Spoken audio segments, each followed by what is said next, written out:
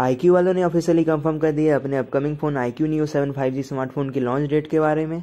ये phone India में 16 फरवरी को अमेजोन के साइट पर लॉन्च होने जा रही है। तो जानते हैं इस फ़ोन के सभी स्पेक्ट्स और इसके प्राइस के बारे में। तो जैसा कि इसके लिक्स और रूमर्स निकल कर आ रहे हैं, इसमें 6.78 इंचेस का F H D plus super AMOLED display देखने को मिलेंगे 120 ट्वेंटी हज के हाई रिफ्रेश रेट के साथ। अब बात करते हैं इसके चिपसेट के बारे में तो इसमें मीडिया टेक का Dimensity eight thousand two hundred five G chipset दिया है, जो कि सिक्स एन पे बेस्ड है। बैक साइड में ट्रिपल कैमरा का सेटअप दिया है, जिसमें रेयर कैमरा 64 मेगापिक्सल का होने वाला है, साथ ही 8 मेगापिक्सल का अल्ट्रा वाइड और 2 मेगापिक्सल का मैक्रो कैमरा मिल जाता है। और इसका जो सेल्फी कैमरा है, वो सेंटर पंच होल कटआउट के साथ आता है, जो कि 16 मेगापिक्सल का दिया है। अब बात करते हैं इसकी बैटरी की तो इसमें फाइव थाउज़ेंड मिली की एक बड़ी सी बैटरी दी है और साथ ही 120 वाट का फास्ट चार्जिंग भी मिल जाता है। इस फ़ोन की जो फिंगरप्रिंट सेंसर वो इन डिस्प्ले दी हुई है और लगभग बाकी सारे सेंसर भी मिल जाते हैं। अब बात करते हैं इसके रैम और स्टोरेज टाइप की तो इसमें L P five RAM type और E F S three point one storage type दी हुई है।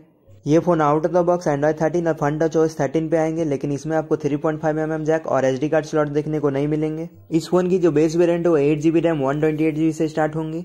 अब बात करते हैं इसके प्राइस की तो ये अराउंड थर्टी थाउज़ेंड के प्राइस रेंज में होने वाले हैं। तो इस वीडियो में बस इतना ही जाते जाते चैनल को सब्सक्राइब कर ले और वीडियो को लाइक और शेयर कर दें।